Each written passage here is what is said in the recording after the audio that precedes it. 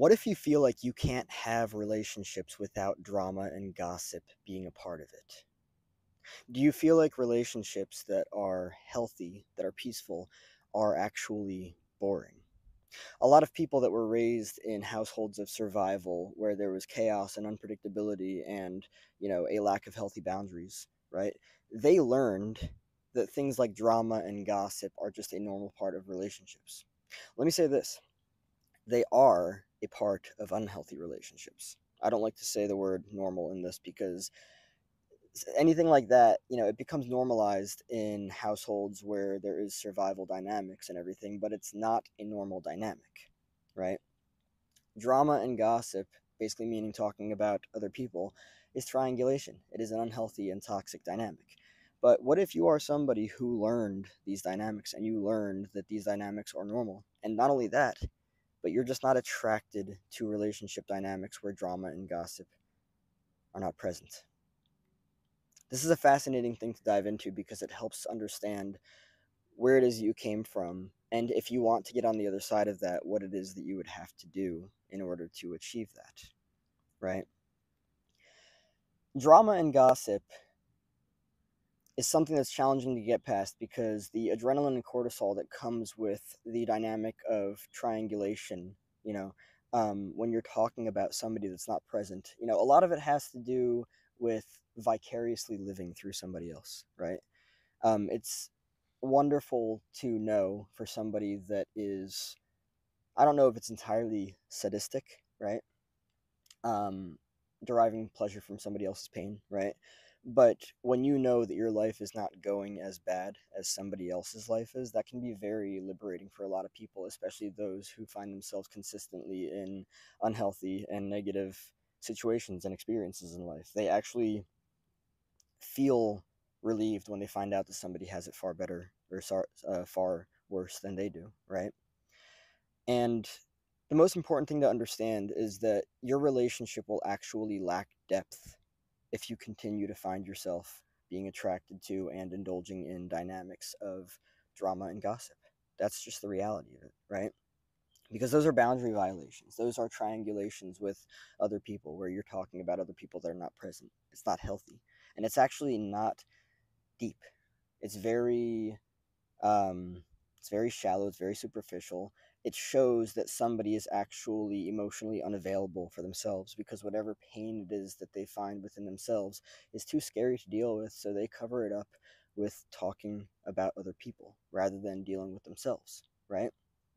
If you find yourself in relationships with people, whether boyfriend, girlfriend, friends, family, whatever it is, right, that these people uh, indulge in drama and gossip, these people are emotionally immature and emotionally unavailable which is why they insert other people to distract them from themselves, to distract you from themselves, right? One of the most important things to understand about this is the dynamic where you are trying to distract yourself. It's a defense mechanism, right? It's too painful to look at the self. So what do you do? You look at somebody else. You introduce somebody else into the dynamic. And that's the challenge here. And it's important to understand that when you can see it for what it is and feel the there, there could be somewhat of confusion there. Like, have you ever have you ever actually been aware that you're attracted to drama and gossip? Right? What does it feel like to actually become aware that you're attracted to those dynamics? Do you actually like it, or is it just a neurochemical, uh, emotional experience of comfort and familiarity? Right? Does it make you feel distant from yourself? Does it make you feel distant from the other person? Does it make you feel weird to be talking about people that are not present? Right? These are all things to consider when understanding what all of this actually means. Because it's important to see it for what it is and understand that, like, oh wow, it's very hard to hold a relationship that does not include drama and gossip, that does not include. This is pseudo intimacy. This is enmeshment. This is uh, boundarylessness. This is my shit is your shit and your shit is my shit. And we're also going to introduce other people's shit into this and we're going to call that intimacy. It's not in, it's at least not healthy intimacy it's pseudo intimacy. It is a very unhealthy dynamic that stops you from going deeper with yourself as well as going deeper with other people because it just keeps things very surface level on both your ends and has you covering up both of your pain and both of your insecurities with other people's shit, right? And it's just fascinating because, you know, I've done a lot of work on myself to get closer to, you know, being somebody who isn't attracted to dynamics of drama and gossip because I used to be, right? And I look at it now and it's like, wow, there's so much potential to create wild emotional experiences with people outside of drama and gossip, right? How well do I know myself? How well, with my self awareness, can I know you? How safe can this intersubjective space become between self and other if triangulation is not present, right? How deep can we go if we just focus on you and I, I and thou, right? And um, it's just it's really a wild thing to heal from being attracted to dynamics of drama and gossip because you realize that the entire dynamic is about healthy intimacy. It's about self and other. It's about the deeper aspects of individuality and actually getting to know self and getting to know other. Drama and gossip really distract you from who you are. They distract you from uh, discovering more about yourself and really being able to hold healthy um, relationships with other people. That's that's the reality of it, right? And understanding that for what it is, and actually seeing that and knowing what it means is the important part here. That's the uh, the the the ticket out, really, you know. And when you can actually do the work to become unattracted to drama and gossip, it completely transforms how you approach relationships. Like you will see that stuff and you won't be attracted to it anymore.